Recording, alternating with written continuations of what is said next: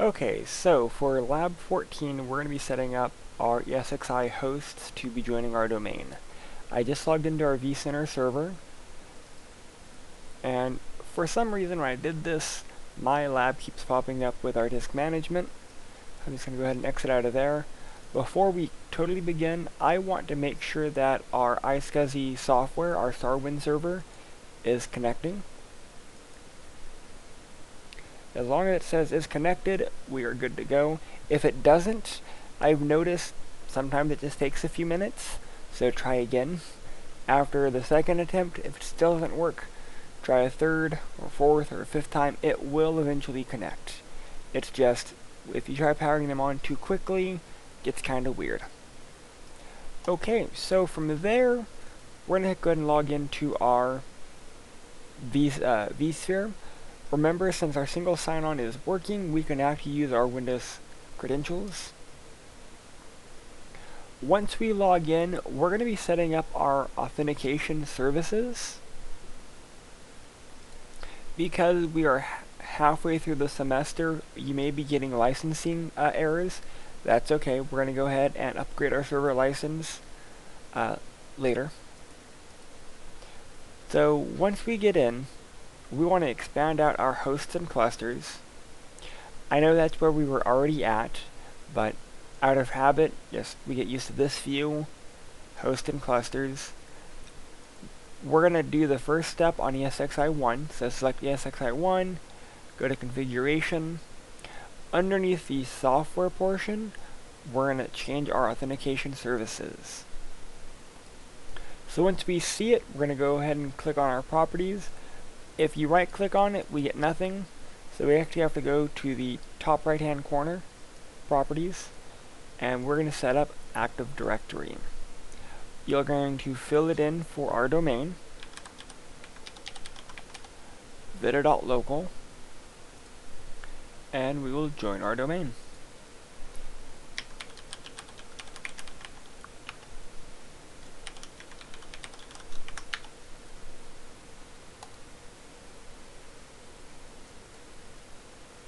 And here in a second, once it updates, it should show that our ESXi hosts are now joined to their domain.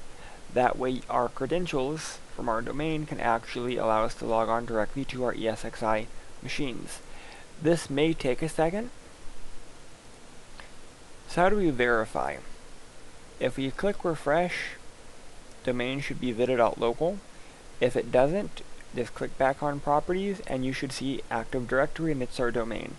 Notice our leave domain is there. That's a surefire way to verify that it does work.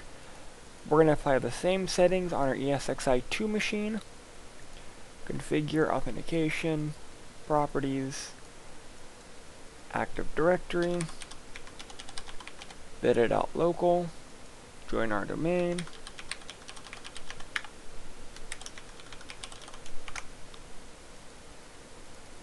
and it does take a second or two.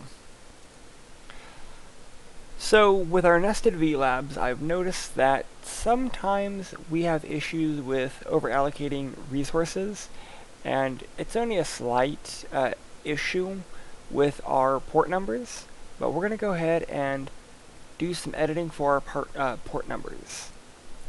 We're going to go back to ESXi1, go back to our configuration tab, we're going to go to our networking, and we're actually going to be manipulating our fault tolerant switch. Because right now it's set to have 120 ports, when in reality we only need a few. So we're actually going to lower it. So how we do that is, once we find fault tolerance, click on its properties. Again, you'll notice 120 ports.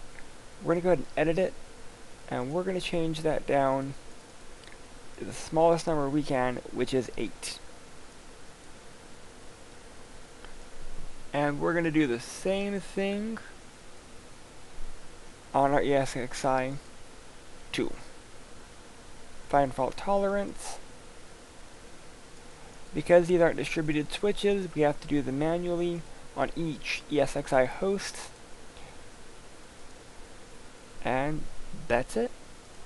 With earlier versions, we'd actually have to do a restart, but we don't have to because of this being vSphere 5.5. So what happens if we have to manually change our speeds? Because this is an important one that we do have to look at. So let's go ahead and look at our properties for... We're already manipulating our fault-tolerant network, so let's go ahead and do that one. Again, properties, network adapter, you should be able to see its speed. Right now it's 1000 megabits, it's full duplex. But what happens if we have to manually set it?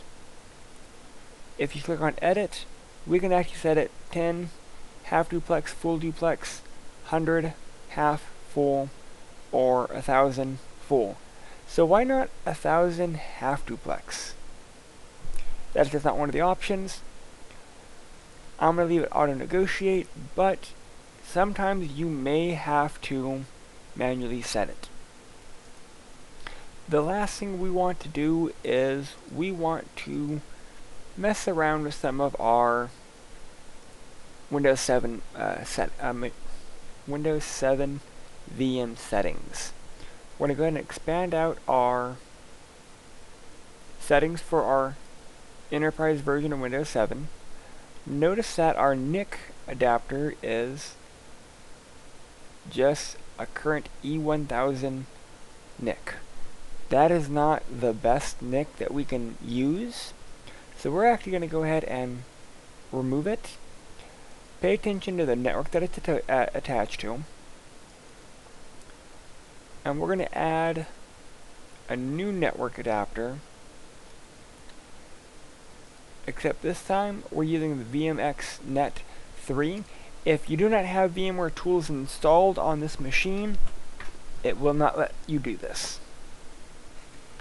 Uh, this is just an all-around better adapter. And I'm going to repeat the same steps on our XP machine. Again, edit settings. I'm going to go ahead and remove the previous adapter. And I'm going to add in the new adapter.